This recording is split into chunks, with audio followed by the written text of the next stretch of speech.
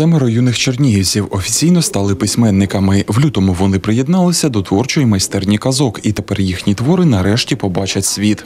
Ми додали ще одну родзинку. Ми не лише писали казку, ми і створювали ілюстрації. Тому, гортаючи сьогодні казки творчої майстерні е, казок випускників уже від сьогоднішнього дня, можна побачити те, як вони малюють. Відповідно, вони вклали свою душу абсолютно на 100%. Головною умовою для учасників творчої майстерні стало написання казки, події якої відбуваються у Чернігові. Далі повна творча свобода. Свої поради дітям давала чернігівська письменниця Маргарита Бордонос, а фінальним рецензентом став автор дитячих казок, сценарист та продюсер Володимир Нікітенко. Я получил большое удовольствие, потому что мало того, что передо мной стояла за- задача оценить литературу, ну, литературный жанр, но я же вник еще в историю города.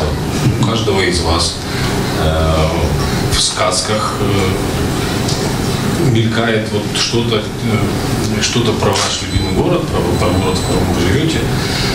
И видно, что вы его цените, любите и знаете его историю. Цьогорічна майстерня казок стала другою, але в туристично-інформаційному центрі вже планують продовження. Мадемуазель Демченко Олеся.